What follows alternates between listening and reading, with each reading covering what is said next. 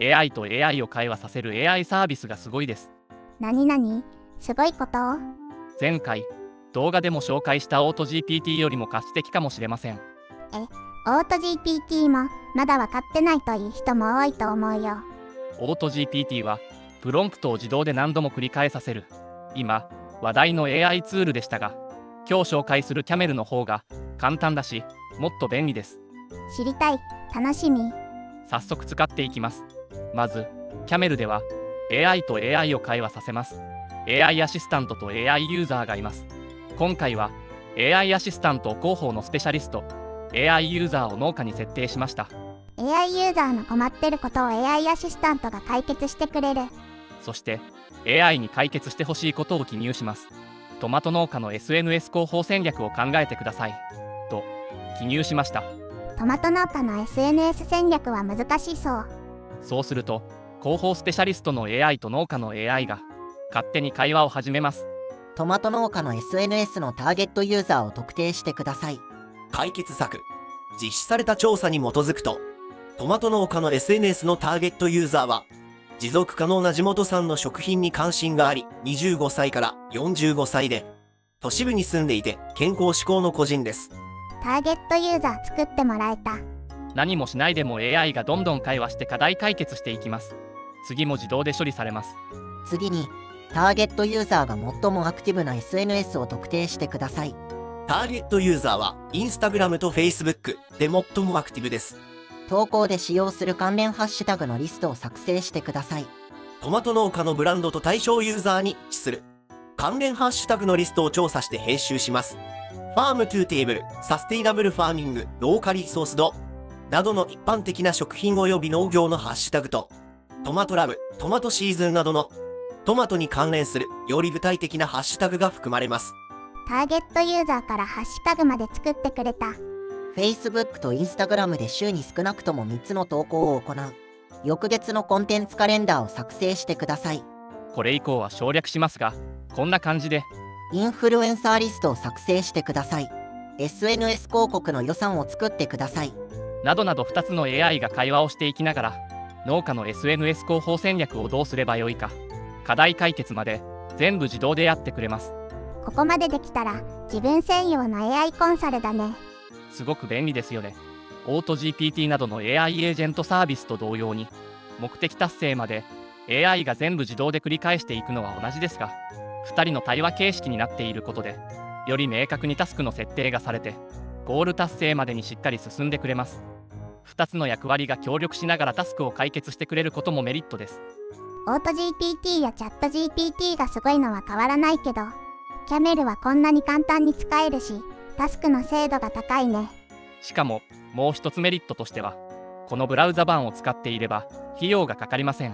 おそれはありがたい。オート GPT やエージェント GPT は API 連携しないといけないもんね。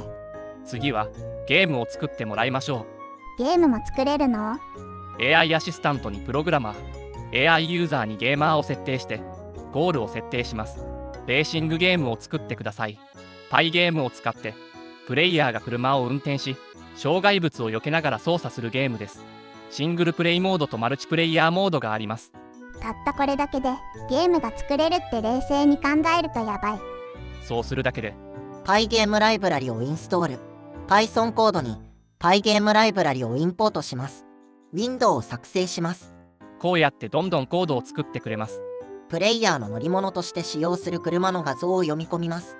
プレイヤーの車の動きに対するユーザー入力を処理する関数を作成。トラック上にランダムな障害物を生成する関数を作成。障害物を画面の下に移動する関数。プレイヤーの車と障害物との衝突をチェックする関数を作成。スコアを画面に表示する関数を作成。こんな感じです。これ全部自動だもんね。最初にやってほしいことを書いただけ。チャット GPT に指示を書くのが苦手だった人もこれなら全部 AI が自動でやってくれるので簡単ですし AI が会話形式でどんどん進めてくれるのでタスクの精度も高いですよ。最高。でも実はもっと精度高く自由度高く使う方法もあります。なになに今までのやり方だと AI アシスタントと AI ユーザーの設定を自由にできないのでもっとキャメルを自由にうまく活用したい人は自分で GitHub から環境構築すると良いですよ。やだ、プログラミングみたいなの難しいよ。そういう人が圧倒的多数だと思うのでもっと簡単なやり方がありますよ。それを早く言ってよ。有志の人が誰でも簡単に使えるように設定してくれているのでこれを使いましょう。このページからフォークを押してくださいそうするとフォークレプルを押すと自分専用のキャメルを作ることができます。わい。あとはこの左下のシークレットというところから OpenAI の API キーを入力すれば良いだけです。OpenAI API キーとここに入力してここに自分の API キーを記入しましょう。設定はそれだけです。めっちゃ簡単だった。あとは AI アシスタントと AI ユーザーの2人に何をしてほしいか記入するだけですよ main.py のファイルの50行目に AI にどんな役割を設定して何をしてもらうか記入します。うわまた英語ばかりだ。日本語で書いても問題ないですよ。AI アシスタントの名前をすごい小説家。AI ユーザーの名前を優秀な編集者。と設定しタスクを20代向けの小説のストーリーを作るにしました。これで小説家と編集者がタッグを組んで、いい小説を作ってくれるんだね。これであとは上にある実行ボタンを押せば AI が動きますよここで出来上がった小説が結構すごかったので注目してください20代向けの小説のストーリーを作る小説の主人公を設定してくださいエマは27歳の女性で友人グループをまとめる存在です。優しくて共感力があり、いつも友人の話に耳を傾けてくれる。しかし、エマには過去に秘密があり、怪奇現象に遭う。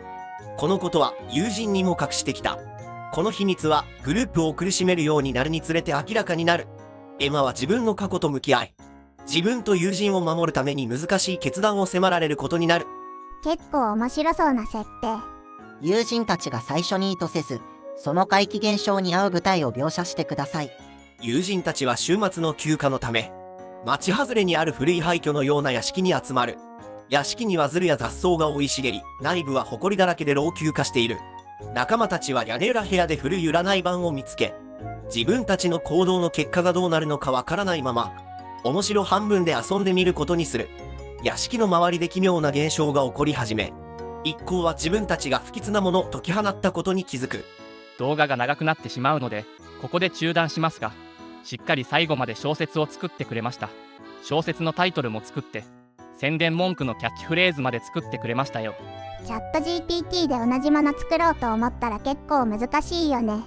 AI が自動で会話してくれてるからこそすごいのができた。